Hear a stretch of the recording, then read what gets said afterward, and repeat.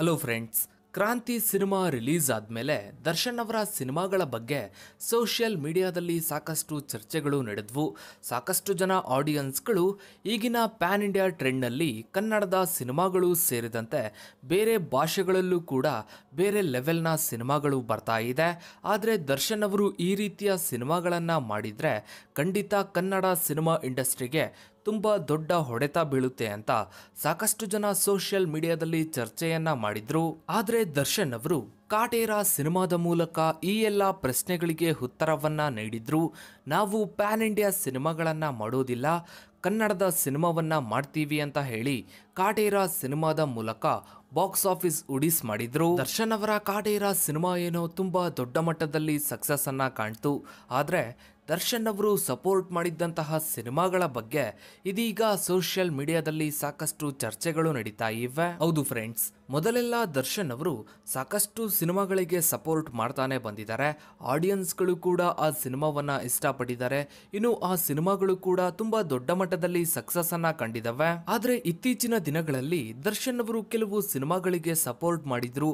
ಆ ಸಿನಿಮಾಗಳ ಈವೆಂಟ್ಗೆ ಹೋಗಿ ಬಂದ್ರು ಕೆಲವೊಂದು ಸಿನಿಮಾಗಳಲ್ಲಿ ದರ್ಶನ್ ಅವರು ಕೂಡ ನಟನೆಯನ್ನ ಮಾಡಿದ್ರು. ಇತ್ತೀಚಿನ ದಿನಗಳಲ್ಲಿ ಜಾಯಿದ್ ಖಾನ್ ಹಾಗೂ ಸೋನಲ್ ಅವರ ಕಾಂಬಿನೇಷನ್ ಅಲ್ಲಿ ಬಂದಿದ್ದಂತಹ ಬನಾರಸ್ ಸಿನಿಮಾವನ್ನ ಹೊರತುಪಡಿಸಿ ಇನ್ಯಾವ ಸಿನಿಮಾವೂ ಕೂಡ ಹೇಳಿಕೊಳ್ಳುವ ಮಟ್ಟಕ್ಕೆ ಇರಲಿಲ್ಲ ಅಂತಾನೆ ಹೇಳ್ಬೋದು. ಹೌದು ಫ್ರೆಂಡ್ಸ್ ಬನಾರಸ್ ಸಿನಿಮಾ ಜಾಯಿದ್ ಖಾನ್ ಅವರ ಮೊದಲ ಸಿನಿಮಾವಾಗಿದ್ರೂ ಕೂಡ ಇವರ ನಟನೆ ತುಂಬಾನೇ ನ್ಯಾಚುರಲ್ ಆಗಿತ್ತು ಅಂತಾನೆ ಹೇಳ್ಬೋದು.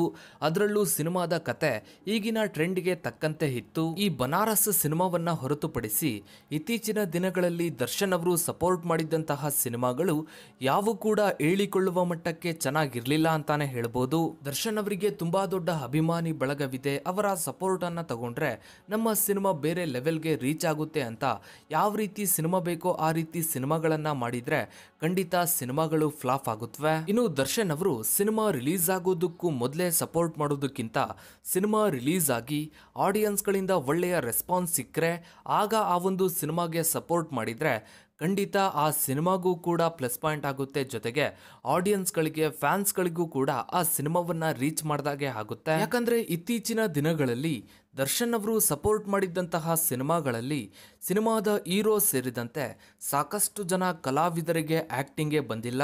ಅದು ಕೂಡ ನಿಮಗೆ ಗೊತ್ತೇ ಇದೆ.